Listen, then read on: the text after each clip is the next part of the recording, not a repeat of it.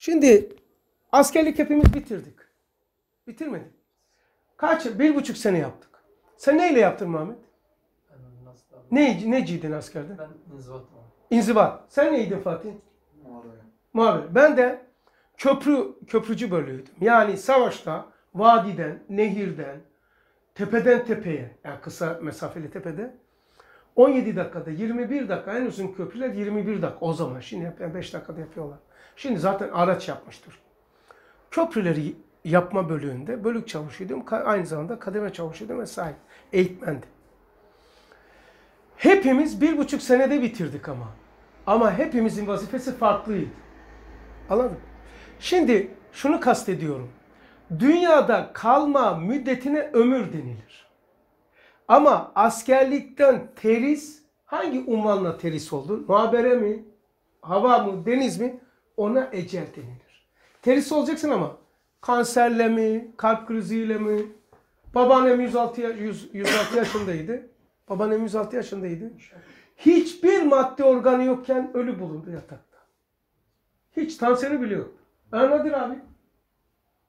Nadir abinin vakası bir şey. Ne kalbi var ne tansiyonu var ne hiçbir şey. Her şey tamam. E kardeşim bu dünyada niçin yaşadığını bilirsen teris o kadar kolay olur. Teris oluyor Nur talebesi. Bir aletimi şey yapayım. Şey yapmıyor ya. Şimdi çekmiyor. Ee, öğle namazı işte. Öyle bir korku saldı ki dün şey bayramın ilk günü. Yani ben ne yapacağım bu peygamberler hani o kadar hep ümit şey yapan insanım ben ya derslerde. Ulan dedim peygamberler, büyük zatlar hep böyle şey yapmış ya, korkmuş ya. Ölüm anı, kabir anı, kabir girişi, haşir, sırat. Ya sen kim? Böyle bir sarmaladı ki Muhammed böyle sıkıntı. Sonra secdede Allah'ın izniyle Adem Aleyhisselam'ın bile ihraç olmuş. Cennetten. Onun psikolojisini düşün. 6 ay, 600 sene, bir rivayete göre 300 sene tek başına dünyayı dolaşmış, havasını, hevasını, eşini aramış.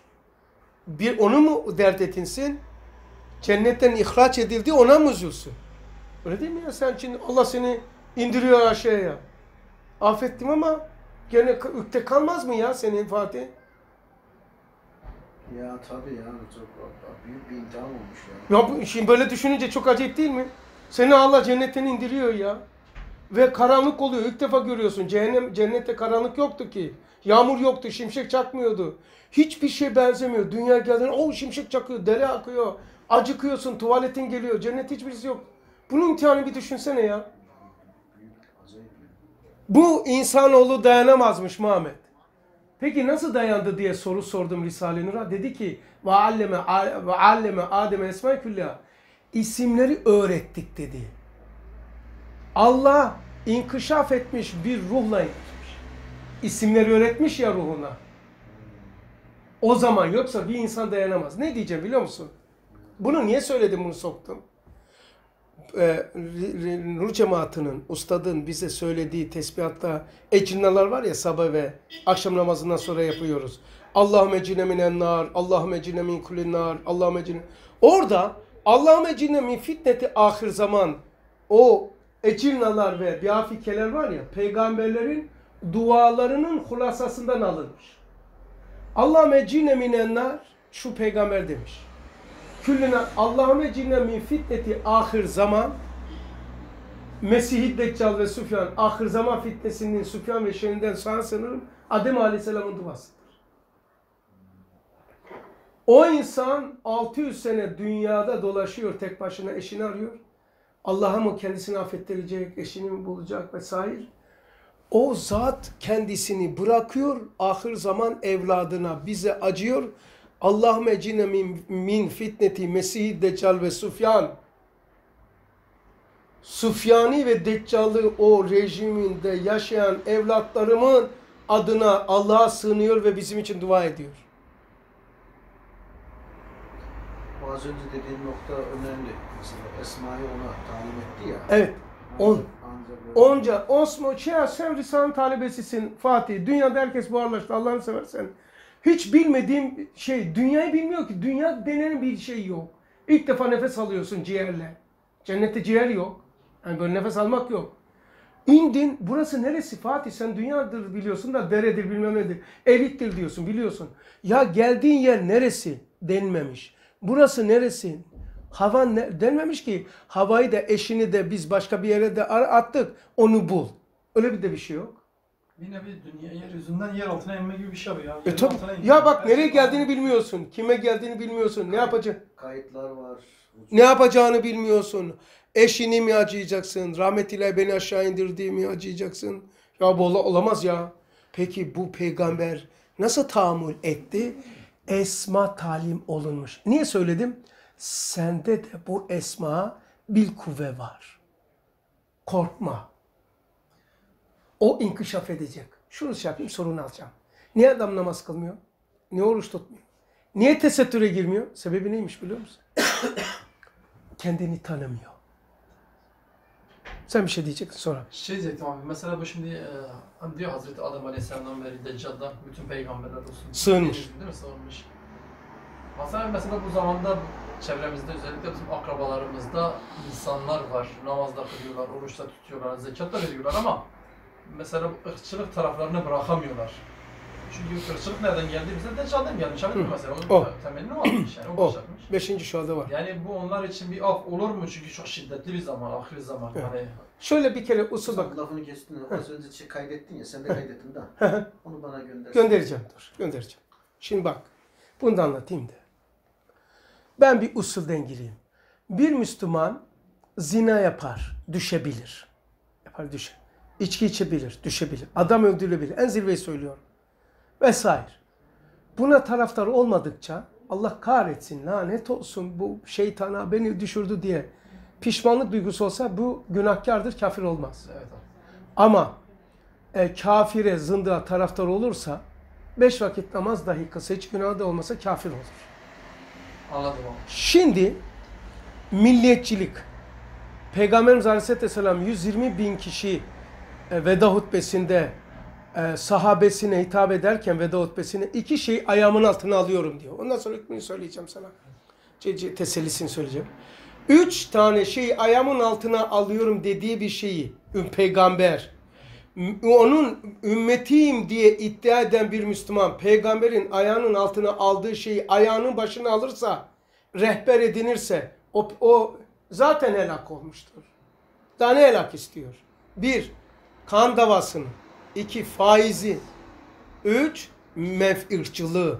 Ha, şimdi ırkçılığı bilerek bunu duyduğu halde yaparsa aynen peygamberimizin ayağının altına aldığı şeyi başın üzerine koyup rehber edenin peygamberden hiçbir nasibi yoktur. Yoktur. Mesela e, Ahmet'i Mehmet'i kısacağım diye Sufyan'a taraftar oluyor. İmanı gidiyor. Şimdi bu a- ka- akrabanı ve genel yapıyor. Bir insan Gazali'den söylüyor. Gazali'den. İhya'dan söyleyeceğim hükmünü. Benim tahminimi değil. Diyor ki bir beldeye İslam gitmemişse tamam, gitmemişse orada ölenler o fetret olduğu için ehli necattır. Risale-i Nur'da 28. mektubun 28. meselesinin 8. meselesinde bu var. 8. meselenin 8. meselesinde bu var. Şimdi biz peygamber göndermecikte a- azap edici değiliz. Aşağı ineceğim şimdi. Bir diyor ki bir beldeye İslam gitmemişse piknemelere, kutuplara ve ölen olursa, zina yapsa, içki yapsa dahi hesap sorulmayacak. Çünkü e, sorumluluk yok. İki, Gazali der ki İslam gitmiş ama yanlış gitmiş, eksik gitmiş. Yani terör dini demiş. Gitmiş ve korkmuş. O da sonra gel Türkiye İslam'a şey olmuş nasip olmuş ama fetretin derece derecesi var demek istiyor. Yani Allah'ın hesabı şudur Muhammed. Ne kadar duya, duydu, ne kadar duyabilirdi, lakayt kaldı. Ne kadar duyduğunu yapabilirdi, ne kadar duyduğuna kulağını kapattı. İnsanın mesuliyet derecesi dörttür. İktidarı, ihtiyari, salahiyeti, mesuliyeti nispetinde mesuldür. İktidar, ihtiyar, salahiyeti, muvazenesi, aklı yerinde olduğu halde Allah Resulü'nün ayağının altına milletçiliği koyduğu halde, ırkçılığı yerin altına attığı halde Ben peygamberin bu sözünü duyduktan sonra haram olduğu itikada dokunduğu halde adam hiç kala almadan ırkçılık yaparsa bunda imanda nasibi yoktur. Çünkü şakası yok bunun kardeşim. Oyun oynamıyoruz diyor Cenab-ı Hak. He, bunu evet oyun oynamıyoruzdur. Ee, e, şey diyor e, ne diyor E, biz e, peygamber gönder, göndermeyecek azap edileceğiz. Şimdi sen duyacaksın camilere gideceksin veda hutbesini duvarlarında göreceksin. Peygamberin ayağının altına aldığı şeyi ondan sonra dinde haram olacak. Haramı kale almıyorsun miskamber gibi iddia ediyorsun. Bunu sen imandan nasibin yok ki. Bak içki, adam vursan bir şey değil. Ben sana şey gönderirim. Yani bu ölçü bir daha söylüyorum. Ölçü genel gelen bütün sorulan cevap. Bir insan mesuliyet derecesi şudur. İktidarı, ihtiyarı, salahiyeti, mesuliyeti. Dört tane. Ne kadar köle miydi? Esir miydi? Muvazenesi yok muydu? Aklı noksan mıydı? Bulu gelmemiş miydi? Tamam? Yani iktidarı, ihtiyarı, salahiyet sahasında, mesul sahasında mıydı? Dört tane. O nispette insan Mesul. mesuldur. Ama mesul olduğu halde kala almıyorsa, şu şeyi de söyleyeyim. 40 tane vefiyattan diyor Emir, Emirdan da söylüyor. Birkaç tanesi kurtardı diyor. Ben bunun peşine düştüm biliyor musun? 40 tane kafir ölse birkaç tane imanlı gidebilir mi? E, kafir kardeşim. 40'ı da kafirdir. 40 vefiyattan birkaç tane kurtarmışsa bu ölenler kafir değil. Müslüman namı altında olanlardır. Hep o ölenler, o imansız gidenler kimlermiş biliyor musun? Beş vakit diyor. Gayrimuteşirde yazıyor. Camide beş vakit namaz kılanlardır. Peki nasıl birkaç tane kurtardı diğerleri kaybetti? Sufyan'a taraftar oldular. Yani o geldi bana o mektup. Mektupta şey Üstad kuvve-i manevi kırılmasın diye onların kim olduklarını bahsetmemiş diyor. Evet. Bahsetmemiş. Olmasın diye, insanda Evet. ümitsizlik olmasın diye. Ve ümitsizlik olmasın diye. Cami, hadis var. Camiyi dolduracaklar ahir zamanda. Ama içlerinde iman olmayacak. Şu anda cemiyet öylesi. Bak camiyi dolduracaklar diyor hadis. Ama içlerinde iman ehli olmayacak. Tek tük olacak veya. Niye biliyor musun? Namaz, İslam sorun yok. Oruç tutuyor, namaz kılıyor ama adam Süfyan'a, Deccal'a taraftar. Tamam bilmiyor. Duyduğu zaman ya, ya olurum falan kale almıyor. Küfre rıza küfurdur. Ve la terkenu ilellezine zelemu fetemessekumunlar. Değil taraftar olanlara meyledeni bile Allah cehennemle tehdit ediyor. Hiç şansı yok.